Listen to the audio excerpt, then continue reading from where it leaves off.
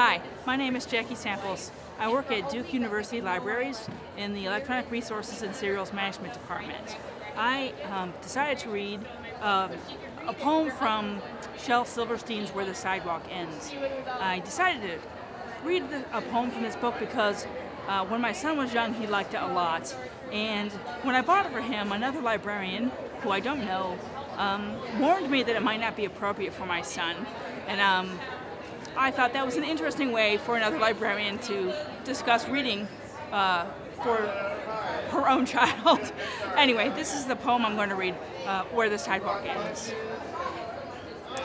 There is a place where the sidewalk ends, and before the street begins. And there the grass grows soft and white, and there the sun burns crimson bright. And there the moonbird rests from his flight to cool in the peppermint wind.